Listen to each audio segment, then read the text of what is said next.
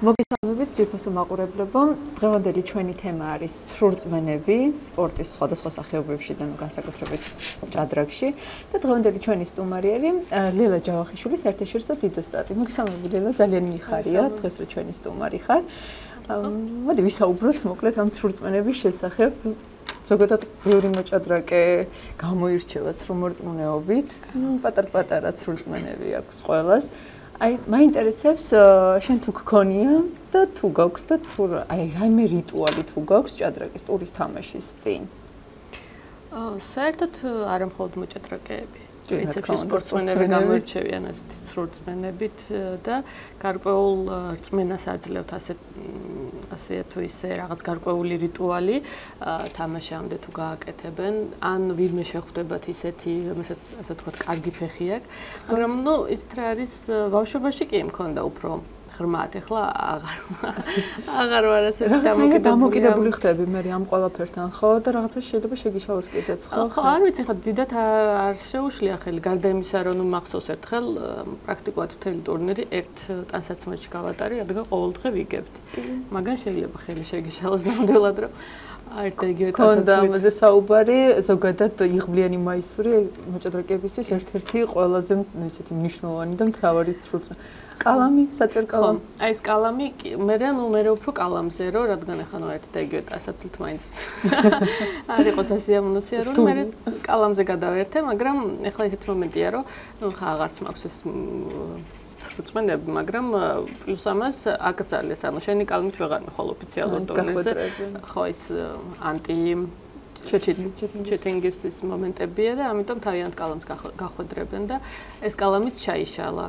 დრესკოდის დროსაც რთული იქნება იხვლიანი მოისური რომ ხო ყოველ შემთხვევაში იცით როგორ არის ახლა ერთხელ თუ წააგე მეორედ ჩაიცნო რაუშოს. აი თუ ორჯერ წააგე ერთი და იგივე ტასაცმლით. ხო აი მესამე ცოტა ისე მოვერიდები იგივე ტასაცმლის ჩაცმა სხვათა შორის. ანუ დღესაც ხო შეიძლება იქით რა. ფიქრობ რომ მაგრამ ესეთი რაღაც მადლობა ღმერთს იშვიათად ხდება და არ მაქვს. აი შეიძლება თუ არა ეგ ცრუწმენაში ჩაითვალოს არ ვიცი მაგრამ რაღაც კოცნობიერის დონეზე აი ცუდი სიზმარი დაგისიზმრა და მე კი ეგ მე საერთოდ ძალიან ნუ პრაქტიკულად ყოველგამე ვნახულობ სიზმარს და არ აქვს მშობლობ თამაშობ არ თამაშობ ძალიან ისეთი ხოთაში და ისე მიკურს ხოლმე იმიტომ რომ ჩემი მეგობრები ამბობენ რომ წელიწადში ერთხელ ნახულობენ ზოგი სიზმარს და ნუ ზოგი თვეში ერთხელ და გაოცებული ვარ და ისეთი საკმაოდ კარგად ახმარი და მე სიზმარში სიზმარი რო აგიხდე ნუ მოკლედ ეს პრო ემოციებზია დამოკიდებული და ასე თქვა. და როდესაც ისეთი ემოციური დაძაბული ახლა ტურნირის თამაშის დროს განსაკუთრებულად ისეთი სტრესი რა ნუ მაინც ემოციურად ხარ რა განწყობილი და ნუ ამ დროს უფრო ნახულობ სიზმარს არა ხო ამ და ვცდილობ რომ არ მივაქცე ყურადღება რადგან მაქვს ახლა რა გარკვეულ ადგილს რო ნახავ სიზმარში მე ნუ რაღაც ძალიან ცუდად ვშავდება ხოლმე ის დღე.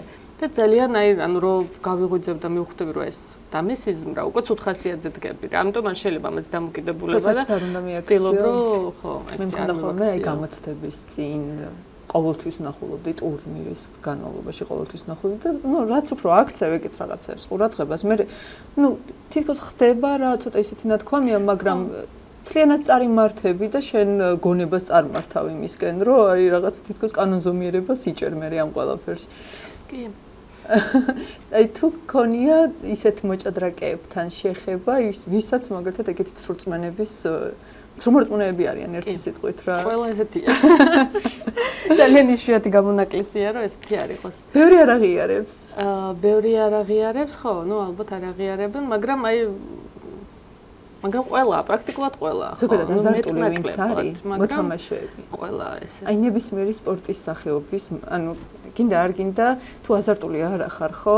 ისე ვერ იქნები კარგი სპორტსმენი რაღაც დონეზე ეგეთი არის რა. ხო ნუ რაღაც ჩვენ უფრო ასე ვთქვათ მორწმუნეები ანუ მართლმადიდებლები ვართ და ასე ვთქვათ ამ მეებს არ უნდა მივაქციოთ ყურადღება და აქედან გამომდინარე არ ვაქცევთ მაგრამ მეორე მხრივ აი ყველაზე ისეთი მორწმუნეც კი რო ხდები რომ მაინც რაღაც მომენტში ის კი არა შარშან ავიყოლიეთ ის შარშან წინ თუ აჩდები ყავდა ადიბანი ინდოეთიდან დამხმარე.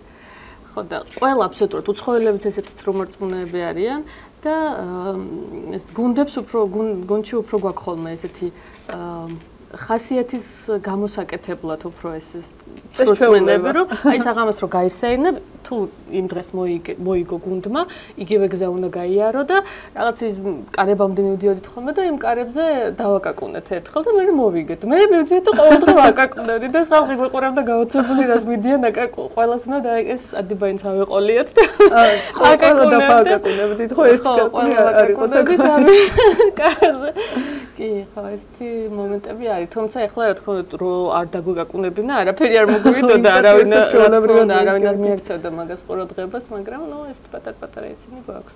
საინტერესო. ზოგიერთ ნუ საუბრობდი კიდეც რომ აქვს ესეთი წესჩოულება რომ მამაკაცები მაგალითად ფერი პარტიის განმავლობაში ტურნირის განმავლობაში საერთოდ წრგა უპერსავები დადიან და ეს ლამბერ სექსუალიზმის მოდამ ეხლა მოუსწრო მაგალითად ესეთი მაგათ ესეთი დაცადეს ანუ ბრო თავსი მართლებენ ამითი და ეზარება. საინტერესოა ძალიან. პრეტენდენტთა ტურნირის შესახებ ცოტა თქვენი აზრიც გვაინტერესებს ამასთან დაკავშირებით, ნუ ძლიერეს გოგოები თამაშობენ და რა ისეთი დაძაბული მოწინააღმდეგე არის და შვიდთან ნანას უწევს მოკლედ თამაში და წარმატებით ასპარეზობს და თქვენი გამოცდილება მინდა ანუ მათთან დაკავშირებით ანუ როგორები არიან ყველაზე მეტად ვინ ან ყოველას კონკურენტია ეხა ნანასი მაგრამ აი ყველაზე ისეთი უხერხული და ძლიერი ვინ შეიძლება რომ იყოს? მე ყველა ძლიერია ეს გქონდა ხა ესეთი მრვა ძლიერი მოწინააღმდეგე, თუმცა ვფიქრობ, რომ ჰოიფაინ და კონერურო აკლია ტურნეს გარკვეულწილად ეს ჰოიფაინმა სწავლა გადაწყვიტა. ხო, ну იმან თხოვებიდეს რომ გადაეტანათ თარიღები და არ გადაიტანეს სამწუხაროდ და კონერუს ისე გაუკეთეს, რომ ანუ მან არიწოდა რომ პარტიები არ ყოფნი და პარტიები არ ამიტომ არ დაუშვეს ტურნეში. პრაქტიკულად შანსი არ მისცეს რომ ეთამაშა. დაუბრუნდეთ ჩვენს მონაწილეებს, ну, მიუხედავად ყველაფრისა, მაინც ძალიან ძლიერი ტურნირია, თავისთავად ცხადია. აა მე სიმართლე გითხრათ, თავიდან ვფიქრობდი, რომ სამი იქნებოდა ესეთი მეგონა პირველი ადგილის კონკურენტი გამოყოფდი. ესეთი თანმიმდევრობით ხოთე შორის ლაგნო მარია მუზიჩუკი და ნანა. და პირველივე პირველივე დღეს მე ვნახე ლაგნოს ინტერვიუ, რომელმაც ვერ მოიგო გუნინასთან, მაგრამ ამას ამისთვის იმდენად არ მიმიქცევი, იყო ესეთი ყურადღება, რამდენადაც როგორი დაღლილად გამოიყურებოდა და იმდენად ეთყობოდა, რომ არ ვიცი, შეიძლება ზედმეტად ბევრი იმუშავა, შეიძლება 4 ბავშვმა ბოლოს და ბოლოს თავის იქნა და დაღალეს. გამოვთიში ასე ვთქვათ ასპარეზობიდან, შემდეგ დანიშნულოვანი იყო ნანას კარგი სტარტი. თუმცა სანიშნავია, რომ მის მაგალითად ანას მუზიჩუკისთვის ნანა ძალიან საკმაოდ ხერხული მოწინააღმდეგეა, მე მგონი სულ კარგი შედეგები აქვს ნანას ანასთან. და ნუ ასე ვთქვათ, ნანას ძალიან დიდი პლუსი არის ის, რომ აქვს კარგი ნერვები და ძალიან კარგი გამძლეობა. ამაზე ვისაუბრეთ, ფიზიკურადაც ძალიან ძლიერია. და მე ვფიქრობდი, რომ ნანასთვის აი ტურნირის ეს ხო ძალიან გრძელი ტურნირია, რადგან ორ-ორ პარტიას თამაშობენ 14 ტური აქვს თქვენ მგონი სათამაშო და ეს პირიქით უპირატესობა, ანუ კარგი. ნანასთვის ეს არის დიდი უპირატესობა, იმიტომ რომ მე ვფიქრობ, რომ საჭადრაკო თვალსაზრისით ნანა არ მიმაჩნია ძლიერად ყველაზე ამ ტურნირში, მაგრამ აი ფიზიკური მონაცემებით აა ვფიქრობ, რომ ძალიან დიდი შანსი მქონდა და მით უმეტეს ახლა უბრალოდ ძალიან კარგად მიდის და მედია რომ ასეც დაამთავრებს.